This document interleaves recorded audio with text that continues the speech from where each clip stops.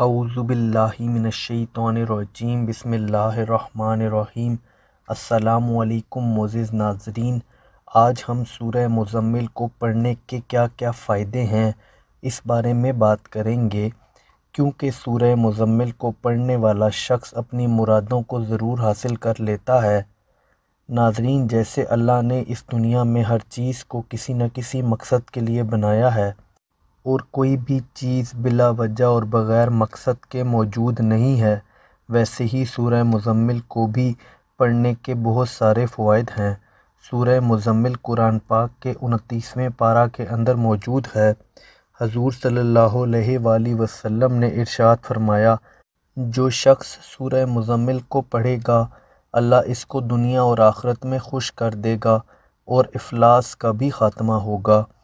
अगर कभी भी कोई भी मुश्किल आ जाए, किसी भी तरह की परेशानी हो तो सूरह मुज़म्मिल का विरद लाजमी करें।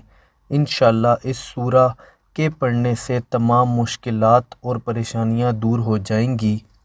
अगर किसी शख्स को नौकरी ना मिलती हो या अच्छा ज़रिया मुआश ना हो तो सूरह मुज़म्मिल को हर फ़र्ज़ नमाज़ के बाद तिलावत किया करें।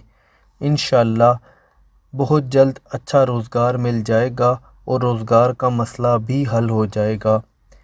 अगर किसी की कोई भी हाजत हो, जो पूरी ना होती हो तो सूरह मुज़म्मिल को रोज़ाना तीन बार लाजमी पढ़ना शुरू कर दें। इन सात से ग्यारह दिन के अंदर तमाम हाजात पूरी होंगी। अगर किसी भी लड़का या लड़की का रिश्ता ना होता हो तो ग्यारह दिन तक लगातार रोज़ाना ग्यारह दफ़ा सूरह मुज़म्मिल का वर्द पूरे खलूस और यकीन के साथ करें इन रिश्ता तय हो जाएगा। आसानी भी होगी और इन रिश्ता टूटेगा भी नहीं। अगर कोई शख्स बहुत बीमार हो और किसी सूरत शिफा ना मिलती हो तो सूरह मुज़म्मिल को एक, तीन या सात दिन में कम अज़ कम सौ मरतबा पढ़ें।